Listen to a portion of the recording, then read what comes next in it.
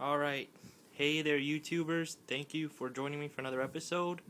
Um, right now, I'm I just took all my live rock out of my 55 gallon saltwater tank. I'm about to do a re aquascape. Um, I had to do a really good cleaning on the tank. You know, the sand was starting to get this brown slime on it and the rocks, and I just had to take the rocks out and scrub them and wa- rinse them through some water and get all that algae out and um, clean the sand up a little bit.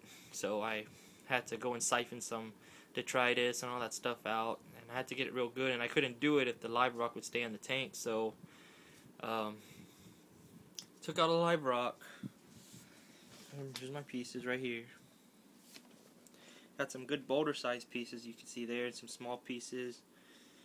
Um, this is my live rock. I got all my corals in here, and this bucket, and my starfish, and some my crabs. So when I put the rocks back in the tank, I won't smush them or anything. But um, yeah, I'm gonna do a re-aquascape, and I'll post a video as soon as I'm done to see what y'all think. All right, please subscribe, rate, and comment. Thank you.